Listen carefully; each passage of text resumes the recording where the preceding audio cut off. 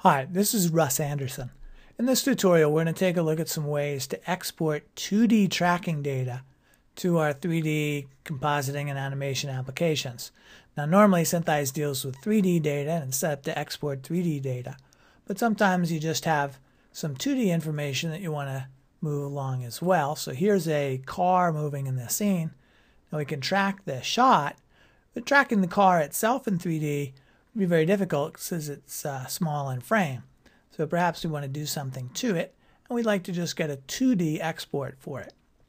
So the first thing we're going to do here is just run the auto tracker, and we're not going to solve quite yet because the tool that we're going to use is called Make Unsolved Exportable as 2D. And what it does is take all of the unsolved trackers, which in this case is all of them, and create a 3D trajectory for them. So here on the control panel for that, I get to select a distance and a type of geometry that I want to create for the trackers. So let's just use the sphere for starters and see what we get. You'll see here's the surface of the sphere and as I move through the shot, you'll see in this view here,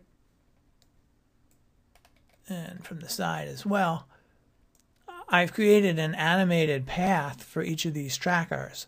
It's actually kind of a motion capture path, and they're all staying a constant distance away from the camera. So that's the sphere shape that's involved. So if instead, let's just go back, we need to keep them not yet solved. Now let's select the plane option. Now you see everything's flat on a plane. And again, the path of each tracker is being moved around in 3D. It's being kept on this plane. And yet, you know, over in the camera view, you can see that everything is still matched up. So now that just gives you an idea what these two options are about. Now let's go and put them to work. We're going to go and solve the shot. You know, and here's the solve shot. We'll just use the automatic placement tool. And you know, here we have the camera flying overhead. So there's our car down there that we want to track. So let's just go and create a tracker on it. We'll just go right down on the uh, front windshield.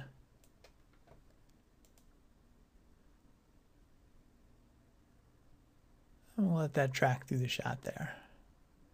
And maybe we should go back and let it drop some keys periodically. That would be a little wiser. You can see that lets it stay on course a bit better also. So uh, there's our, our tracker. You know, right now it's only a 2D path. So if we want to export that, you know, we have to assign it a 3D location. So let's go and we haven't solved it. We could actually get a zero weighted tracker solve for it, which would put it off in some incredibly crazy direction. But instead, we'll just run this script again. And can pick either of the options here. And now you'll see, you know, here's the, the tracker down there. And it's being animated along a path so that it lines up exactly in the correct line of sight to be able to, uh, you know, to stay aligned with where the car is. You'll notice that when it comes before the car appears, you know, it's not visible. So if we wanted to do a purely 2D effect in After Effects, say, perhaps this might be a way to make that happen. Now we can do something a bit more subtle as well. And here, let's just undo that again. So it's not solved again. And let's suppose we want to create a 3D path that's actually on the ground plane. So we're just going to set up a actual physical ground plane here. And, you know, this is based on the ground plane set up by the uh, auto placement tool. And you can see it's, we probably want to rotate it if we wanted to align it with the road or something. But uh, what we have available to work with is another tool that's Animate Trackers by Mesh Projection. And that tool works on all the trackers that are being exported. So what we need to do is select all of our trackers. We'll make them not exported. We'll select the tracker that we want to convert. We'll make it exportable. And now we want to select the mesh. And this is the mesh that the tracker is going to be projected onto, basically. And now we run our script. And now we have another point here. Let me just select that guy so you can see it. And you'll see in the left and top views, the front view, that that 3D position is now moving just along that plane. You can see it actually runs off the edge of the plane. I should have made it go a little further.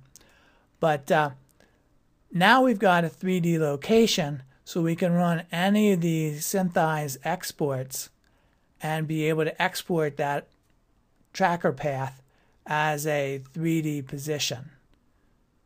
So that's a pretty flexible technique. And I'll point out that this particular script, the Animate Trackers by Mesh Projection, works in fact with any kind of mesh.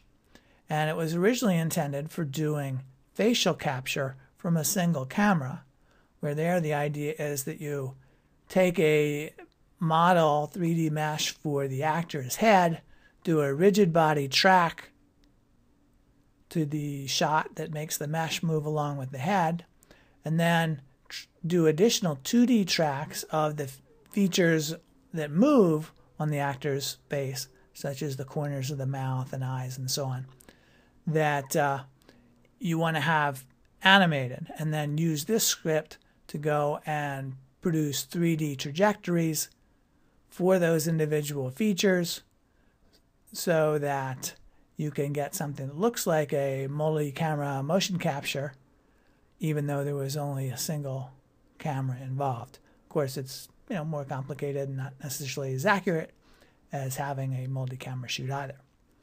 So this gives you some additional food for thought, I think. Enjoy.